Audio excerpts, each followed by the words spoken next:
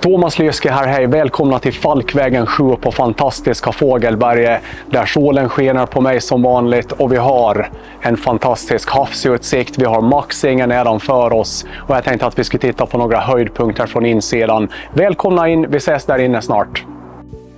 Välkomna in! Ja, det är ju så att bläcket från OK-stämpeln på inflyttningssynen för det här objektet har ju knappt torkat. Det är så pass nytt och fräscht och jag står i vardagsrummet med mycket generösa ytor. Och den här utsikten som jag nu ser hoppas jag att vi också kan förmedla till er när ni kommer hit på er privata visning. Det är en riktig höjdpunkt det här, helheten men framförallt de här generösa ytorna i vardagsrummet. Vi ses i köket snart. Ja, välkomna in i köket som ju då såklart ansluter till vardagsrummet som vi just tittar på. Modernt, rejäla ytor och massor av förvaring. Granitbänkskivan finns här och förstås en hel del förvaringsskåp. Det här är förstås lagat in i minsta detalj och på bästa sätt som alltid det här objektet. Och jag tänker att vi nu ska kolla på badrummet här i entréplan så vi ses där. Okej, okay, badrummet här i en entréplan har ju läckra fina detaljer. Kolla bara på det här badkaret. Och här också har vi de här svarta läckra design inredningssakerna. Men nu går vi vidare.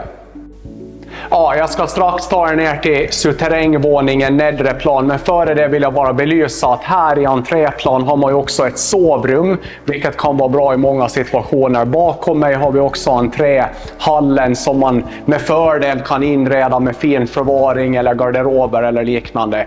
Generös takhöjd genomgående genom hela entréplan, men vi ses på nedre plan. Okej, då har vi landat i den nedre våningen här i ett extra vardagsrum eller tv-rum, myshörna, kalla det vad du vill. Intill den så har vi två mycket fina sovrum som också vetter mot utsikten som vi just har pratat om. Fantastiskt.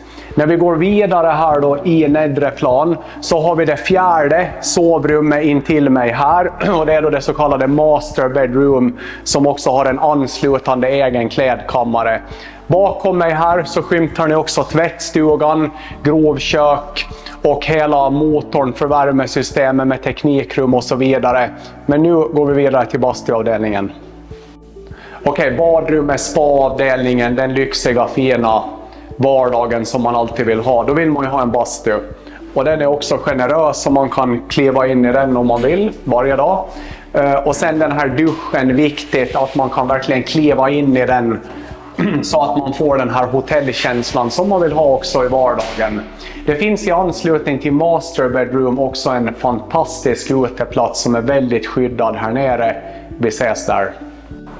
Okej, okay, som sagt uteplatsen helt insynsskyddad nästan i anslutning till Master Bedroom. En helt fantastisk plats. Kanske man i framtiden också kan glasa in den här för ytterligare ett rum om man vill mot separat anhållan hos kommunen utsikten också här. Jag har liksom hela havet i min vy.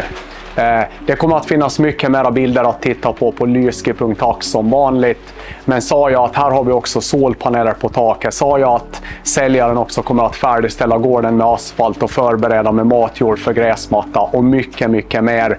Hoppas att vi ses på visning.